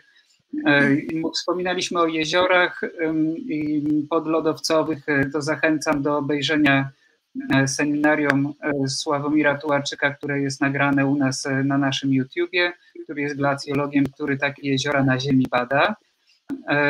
Oprócz tego pojawiały się pytania o niesporczaki. Tu zachęcam do obejrzenia wcześniejszego naszego panelu dyskusyjnego na temat ekstremofilii. I w takim razie oddaję teraz głos po kolei. Będzie to Ewa, Ania, Natalia i Janusz. I tak e, e, concluding remarks. Zakończymy takimi waszymi spostrzeżeniami i dodatkowymi myślami, które może umknęły w międzyczasie to ja może podsumuję. Mnie są bliskie dwie planety, tak naprawdę i Mars i Wenus. E, skoro zajmuję się biosygnaturami, to nie mogę się opowiedzieć jakby po e, stronie bardziej Wenus bądź Marsa. I podsumuję tak, że e, czy istnieje na tych planetach życie, nie wiem, natomiast jestem bardziej przekonana, że na pewno kiedyś istniało i te biosygnatury w końcu znajdziemy. To będzie moje takie podsumowanie. I dziękuję Państwu za uwagę. Dziękuję. Aniu?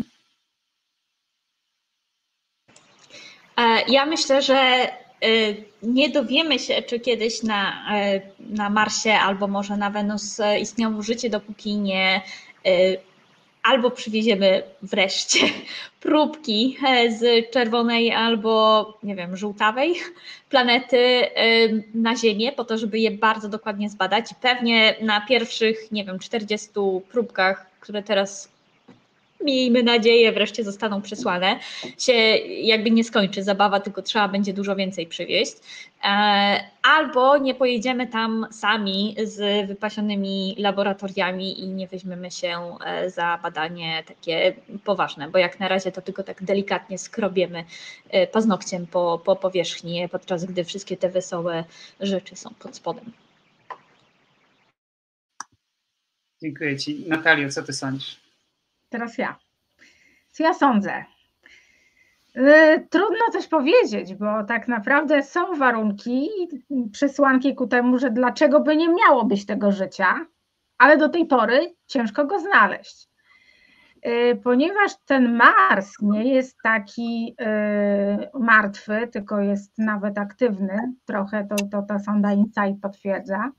Wobec tego tam jakieś ciepło jest produkowane i, i, i pierwiastki są produkowane i, i on nie, mu, nie musi być też do końca suchy, tak jak słyszeliśmy. Więc ja myślę, że to kwestia czasu. Bo tak, człowiek na pewno poleci na Marsa, to nie ma dwóch zdań, tylko musimy trochę poczekać. Yy, I będzie badał już laboratoryjnie Marsa. I teraz możemy rzeczywiście jak dywagować między tym, czy było, czy nie ma ale jak już człowiek poleci, jak już się wierci, jak wyśle jeszcze jakieś, i będzie technologia lepsza, tak, jeszcze do, do bardziej yy, wyspecjalizowana, to ja myślę, że my się w końcu dowiemy, co tam na tym Marsie i Wenus jest. Może tak w skrócie. Bardzo Ci dziękuję. Mhm. Januszu, Twoje podsumowanie?